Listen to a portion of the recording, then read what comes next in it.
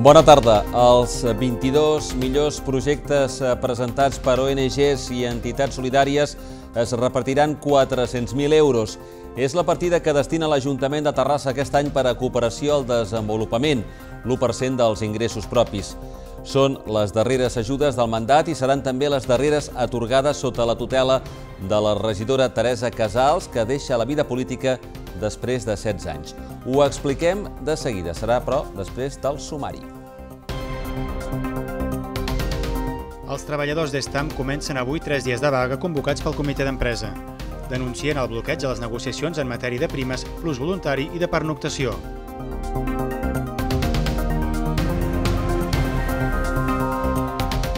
L'escuderia Motor Atlètic Terrassa Hockey Club va organitzar diumenge la 38a edició del Rally de Motos Històriques. El guanyador absolut de la competició va ser per a Manel Malo López.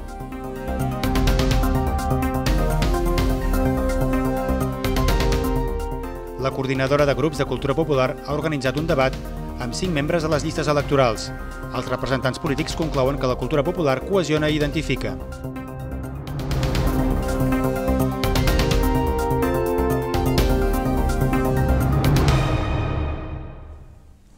El ple d'aquest dijous ha d'aprovar les darreres subvencions municipals a les ONGs del mandat que ja s'acaba. 22 projectes es reparteixen 400.000 euros. És la partida destinada a cooperació. Les properes subvencions s'atorgaran amb unes bases més senzilles, segons ens ha avançat la regidora Teresa Casals. Gràcies.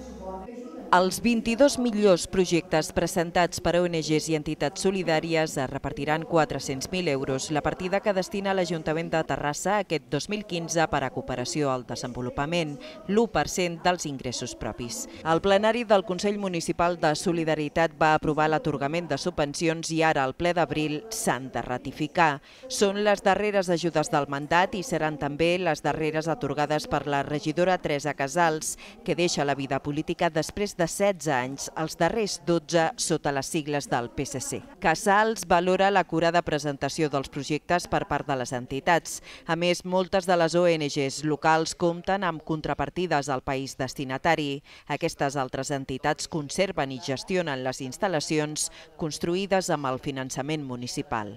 Ara actualment valorem molt el fet aquest de que la contrapart sigui potent, que la contrapart sigui responsable per poder mantenir el que es fa. Si és un pou, doncs que es mantingui en condicions. Si són unes aules, el que, el que sigui, no? la construcció que sigui o el tema que, que, que porti cada ONG, doncs que la contrapart sigui seriosa. 10 projectes subvencionats es desenvoluparan a l'Àfrica, 10 a Amèrica i 2 a l'Àsia. La major part de les entitats se centren en ajudar la població infantil i les seves mares, els més desfavorits. La quantitat màxima que rep una idea són 30.000 euros. En aquest cas, el projecte ha d'estar presentat per dues entitats. Així, Fundació Privada d'Educació Solidària i Escola Pia volen construir un centre de secundària i batxillerat Berat, al Senegal. Dues entitats rebran 20.000 euros. Òptics pel món per millorar la xarxa sanitària visual a Nicaragua i Associació Coordinadora d'Ajuda Unida a CAU per reconstruir una escola de primària a Burkina Faso. A partir d'aquí, les ajudes són de menor quantia. Una de les primeres tasques del nou Consell de Solidaritat que es constituirà al setembre serà la modificació de les bases per accedir a aquestes ajudes. El proper Consell, una de les primeres eh, fites que, que han de, de fer abans de poder llançar les bases era modificar-les i adaptar-les a un format més senzill i més planer. Amb les noves bases s'atorgaran els ajuts de 2016. Canviem de tema. Els treballadors de l'empresa metal·lúrgica local Estam han començat avui tres dies de vaga pel bloqueig de les negociacions amb la companyia situada al polígon de Els Ballots. Els empleats denuncien la situació de bloqueig de les negociacions obertes en matèria econòmica. Asseguren que l'objectiu és aconseguir igualtat en les condicions laborals de tothom. L'empresa Stam d'aïllants tèrmics metàl·lics per al sector de l'automoció ha viscut aquest dimecres el primer dels tres dies de vaga convocats pel comitè d'empresa. Denuncien la situació de bloqueig de les negociacions obertes en matèria de primes, plus voluntari i plus de pernoctació. Els treballadors fa anys que reclamen millores salarials, però asseguren que l'empresa no escolta cap de les seves propostes ni els ofereix cap alternativa. Des de comissions obreres asseguren que l'objectiu és aconseguir igualtat en les condicions laborals de tots els treballadors i una possibilitat real de promoció professional per a tothom. Y la propuesta que hemos entregado nosotros, lo único que ha pedido la dirección es que reformulemos nuestra propia propuesta. Lo lógico es que la dirección hubiese entregado otra propuesta y a partir de ahí entrar en un periodo de negociación. Ayer ya le comento, al final la empresa dijo que si no desconvocábamos la huelga, que desconvocásemos la huelga y que pactáramos tres días de reuniones, en esos tres días pues intentaríamos llegar a un acuerdo. Nosotros no podemos desconvocar la huelga si la dirección no presenta nada, por lo tanto, hasta no presente, nosotros nuestra obligación es continuar con la huelga hasta poder conseguir nuestros objetivos. A la jornada d'avui s'afegiran dos dies més de vaga els propers 5 i 6 de maig. És la primera vegada que la fàbrica Stam fa una aturada d'aquest tipus. Els membres del comitè asseguren que la voluntat sempre ha estat de negociar i que no han volgut forçar la situació mentre la crisi ha estat més forta. De momento la empresa nos ha manifestado, creemos que nos está haciendo un pulso, quiere valorar si realmente la gente está a favor de hacer la huelga o no lo está. Entonces nosotros contamos de que igual hoy lo soporten porque ya se han preparado para, para aguantar el día de hoy, lo que veremos a ver el día 5 y el día 6 si la empresa será capaz de poder soportar esto, porque somos proveedores de Nissan, SEAT, Volkswagen, Toyota, muchísimas marcas de automoción, los cuales ellos tienen unos pactos y unas condiciones de entrega de piezas y de producción de piezas. Estam Terrassa té actualment uns 180 treballadors repartits en diferents departaments. També disposa d'una delegació a Eslovàquia i una altra a Xina. La Biblioteca Central de Terrassa ha estat escenari aquest dimarts a la tarda de la conferència Ciència i Religió. L'activitat ha estat organitzada pel Servei d'Universitat i Societat del Coneixement dins del cicle de conferències de divulgació científica marcades en el programa Promoció Campus. La conferència Ciència i Religió ha anat a càrrec de Josep Triginer i Fra Lluc Turcal. Josep Triginer és professor associat de Física de la Universitat Autònoma de Barcelona, mentre que Fra Lluc Turcal Cirera és prior del monestir cistercenc de Santa Maria de Poblet. La conferència ha comptat amb la presència del regidor de Societat del Coneixement i Universitat, Juan Antonio Gallardo.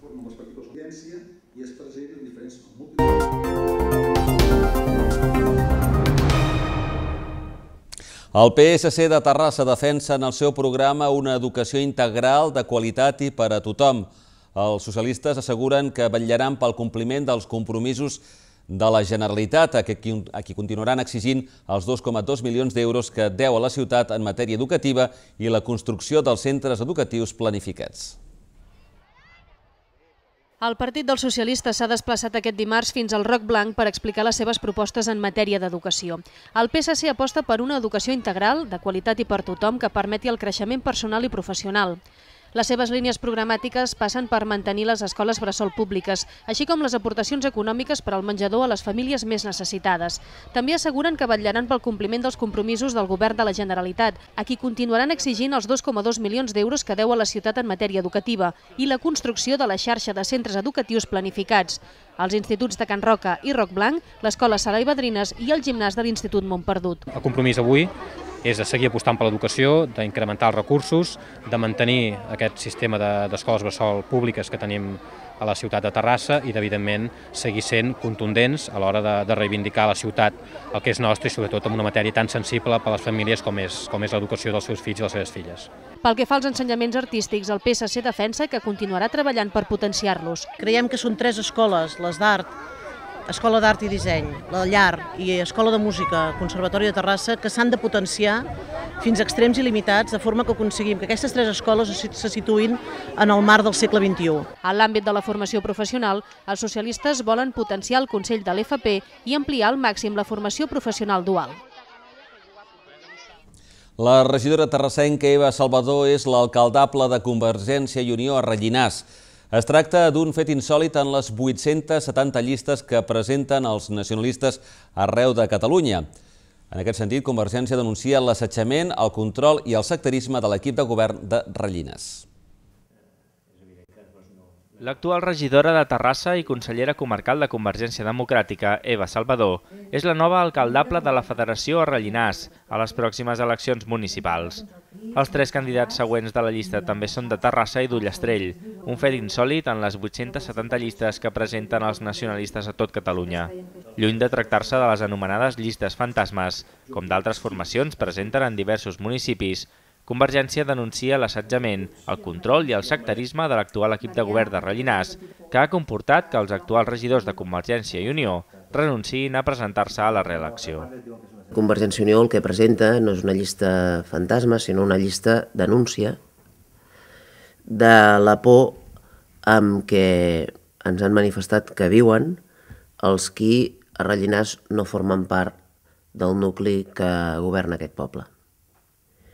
Militants de Convergència Democràtica de Catalunya, regidors actuals, no han volgut encapçalar aquesta llista ni anar-hi perquè s'ha creat per part del govern municipal una sensació de control, una sensació fins i tot d'un cert eh, assetjament cap a les persones que no pensen o no estan a la corda o a l'olla dels qui són avui al govern municipal. Vaig parlar doncs, amb una persona que, que, bueno, que, que, és de, que és de Rellinars i que en el seu moment volia, podia encapçalar-nos a la llista, no? I va dir, home, doncs sí, doncs jo encapçalaria, no? Però al cap d'unes setmanes em va dir no perquè, escolta, la família m'han dit de que val més que no t'hi presentis perquè noia eh, podran fer la vida impossible, no? En l'actualitat, Rellinars, d'uns 770 habitants, està governada per dos regidors d'Esquerra Republicana amb el suport d'un regidor del grup independent i d'un altre del Partit dels Socialistes. Els tres regidors que Convergència i Unió va treure en les eleccions del 2011 són ara a l'oposició, després d'un mandat convuls en què van començar governant amb el suport del regidor del PSC. I més política, Terrassa en Comú proposa un pla de rescat ciutadà després de les eleccions. Es tracta de 54 accions prioritàries per fer front a les emergències socials en alimentació, habitatge i pobresa energètica. El programa definitiu es validarà aquesta mateixa setmana. Terrassa en Comú proposa un pla de rescat ciutadà durant els 100 primers dies de govern en cas que guanyi les eleccions del 24 de maig. Es tracta de 54 accions prioritàries per fer front a les emergències socials que diu la candidatura té Terrassa en alimentació, habitatge i pobresa energètica. Aquest pla de xoc serà complementari dels canvis estructurals que plantejarà el programa, que quedarà validat aquesta setmana al plenari de Terrassa en Comú. Des de la candidatura s'apela a la valentia que fins ara ha dit no ha tingut l'equip de govern per portar a terme les actuacions necessàries en matèria social. El pla de rescat ciutadà té a veure amb, amb entendre que l'Ajuntament ha d'estar sempre al costat dels seus ciutadans, de la seva gent, independentment de les seves limitacions competencials, per tant, els límits competencials no haurien de ser en cap cas una excusa perquè l'Ajuntament estigués al costat de la gent i, per tant, entenem que requereix una nova actitud, de més coratge, de més valentia. El Partit Socialista eh, no ha tingut el coratge ni la valentia suficient per prendre aquestes mesures, que moltes de les mesures que ha pres han sigut més posar tirites amb una catarata que no es pot aturar i creiem que és el moment de tenir aquesta valentia, aquest coratge, estar realment al costat de la gent i això passa per garantir tots aquests drets fonamentals dels que estem parlant. Terrassa en Comú critica la manca d'organització que diu ha tingut l'Ajuntament en habitatge i el poc treball que s'ha fet assegurar amb la plataforma d'afectats per la hipoteca. L'alcaldable Xavi Matilla creu que la llei d'habitatge del 2007 encara té més recorregut i aposta per una gestió directa de l'aigua a la ciutat.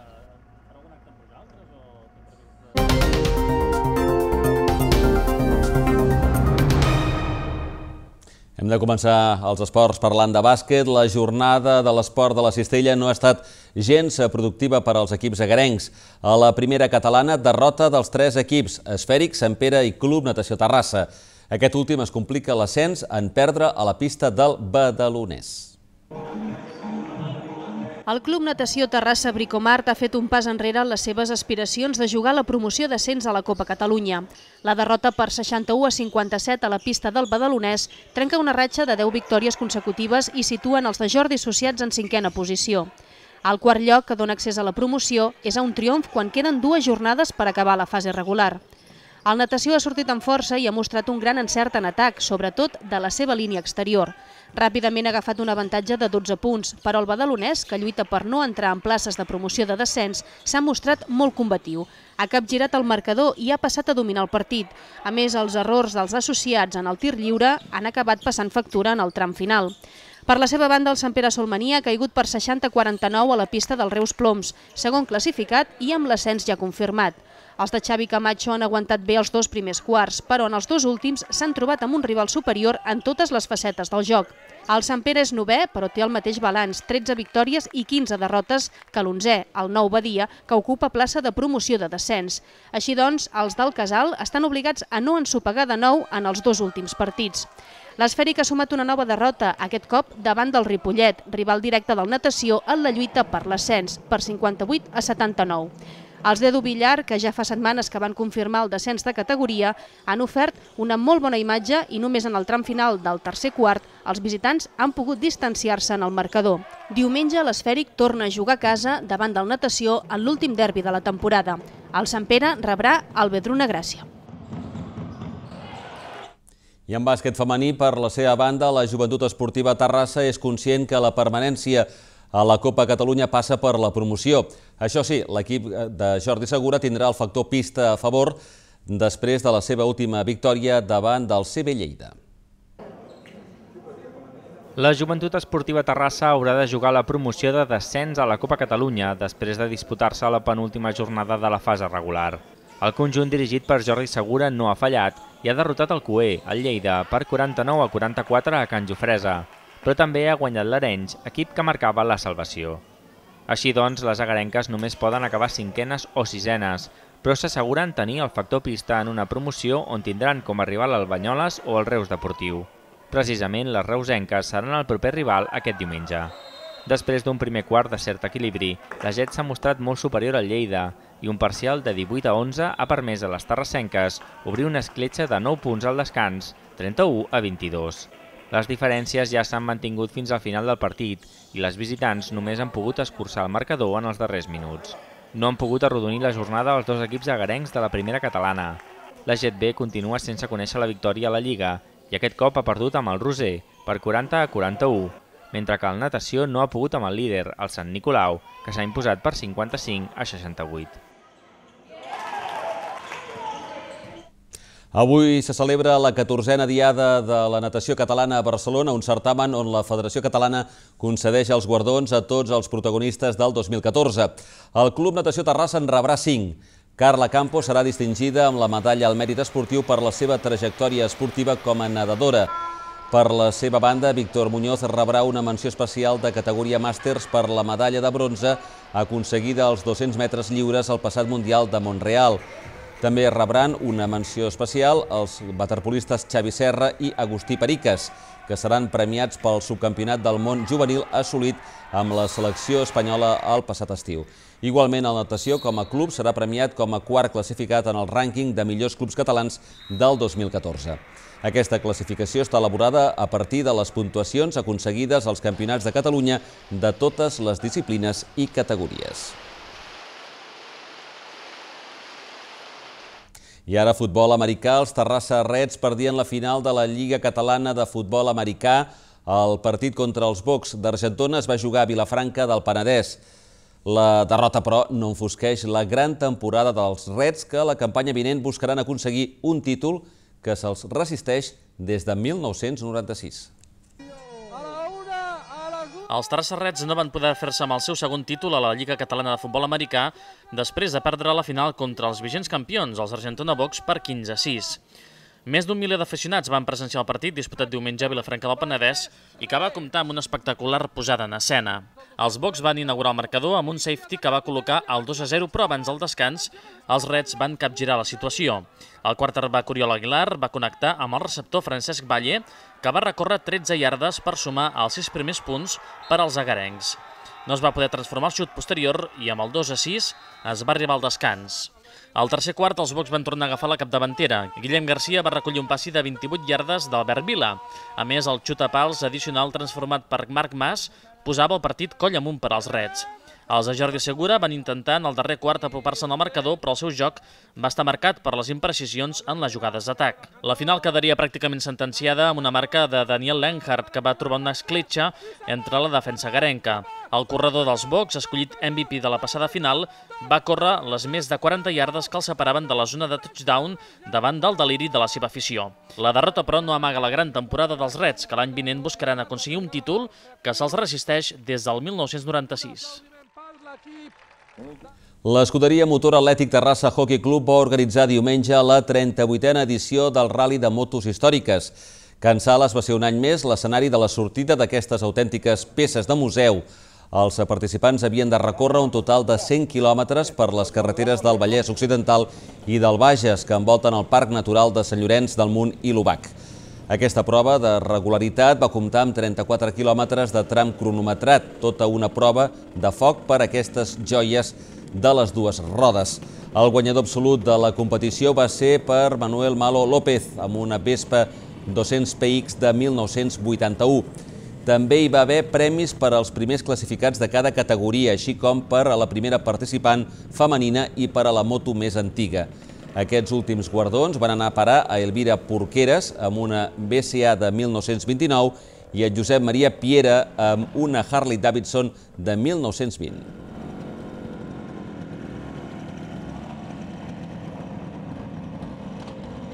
I acabem els esports parlant de Corfel i és que el pavelló municipal de Can Jofresa ha acollit en aquests darrers dies una trobada d'aquest esport per a alumnes de secundària organitzada pel Consell Esportiu del Vallès Occidental Terrassa i la Federació Catalana de Corfel.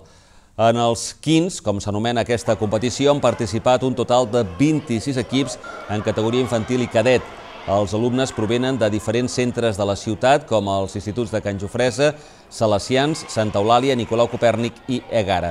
Tots ells han practicat aquest esport al llarg del curs, tant als centres educatius com a través dels plans de promoció esportiva del Consell. El guanyador tant en la categoria cadet com a infantil ha estat l'Institut Can Jofresa. Els guanyadors d'aquestes competicions es reuniran amb els vencedors dels 15 realitzats per altres consells esportius arreu de Catalunya a la final que la Federació Catalana realitza cada curs.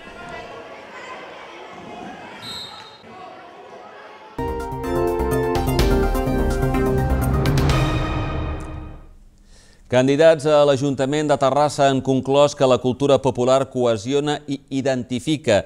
També han coincidit en que cal fer més difusió dels grups de cultura popular tant a dins com a fora de la ciutat.